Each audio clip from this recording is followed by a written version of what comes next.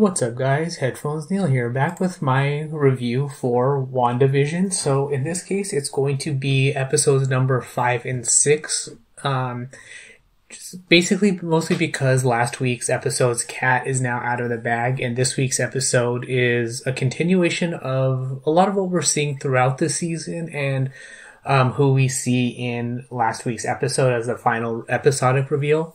So, episode 5 is t- titled On a Very Special Episode, and episode 6 is titled On a New Halloween Spooktacular. So, oh, um, basically, I'll start off the um, review with the uh, main topic at hand, and that is that uh, Wanda brings in her brother Pietro into the show, but as the big OMG reveal, instead of the Pietro that we see in Age of Ultron, we have the version of him from X Men Days of Future Past. So um, that was a pretty good reveal, and I did like the little touch that they had that um, outside of Wanda's little bubble, in that they mentioned that they recast him. So technically, yes, but not really as well, um, just because he was cast as. Um, basically because both the actors are cast as Pietro but in separate franchises. So it's more like a swap casting, I guess, something along those lines. I'm not sure what they what to quite call it. But basically we have the two episodes as a progression that Wanda is controlling the bubble um, for her life to, because it makes it easier for her to um, control what's going on, but it's also slowly falling apart because her uh, basically Vision is starting to realize that things are not quite what they seem, and um, we now see that the characters inside the bubble are being controlled by, by Wanda, but their ability to do anything about it is being suppressed by her. So it's not only um, the agents of Sword outside of the bubble, but um, Vision inside the bubble to try to figure out what's going on and um, either fix what what's going on or um, kind of figure out the overarching story on the whole.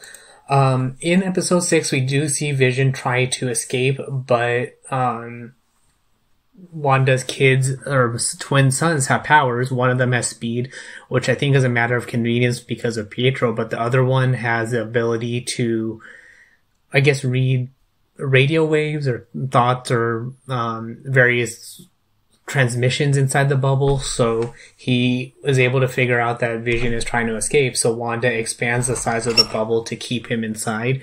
So we'll see kind of what's going on there. Um, probably by the end of the season, but how that deals with Sword and um, how it's supposed to tie into Doctor Strange's multiverse of madness, or if we're, we're already in that multiverse of madness. But overall, um, I guess the, the whole these whole couple of episodes are supposed to deal with um, Wanda's um, unreconciled sadness with the loss of Vision and Pietro, but that she's controlling the bubble and we're not quite sure what's going on in her mind. So, um, kind of that the bubble is falling apart and that Sword is slowly narrowing down on what's going on. And we have a lot of politics in Sword as well. So, um, all sorts of different progressions going on in the show and overall all uh, worth checking out. So um, that's really all for this particular review. There's not too much to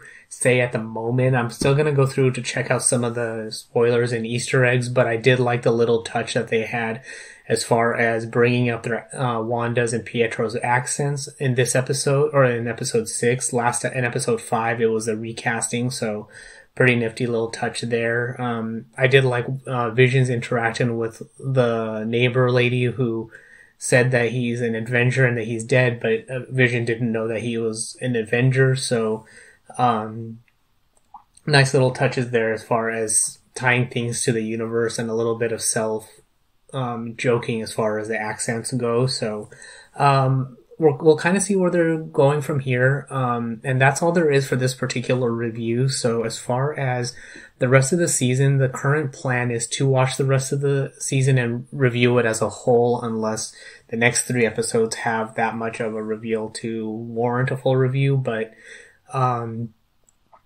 that's kind of where we're at now. So it's kind of looks like they are going to be able to set up the tie-in with the multiverse of madness, or at least find out what's going on with Wanda's bubble, or tie it into Doctor Strange um, because of all the energy she's outputting, because of her being able to bring Vision back to life, potentially Pietro as well, but maybe it has uh, ramifications with the universe as a whole.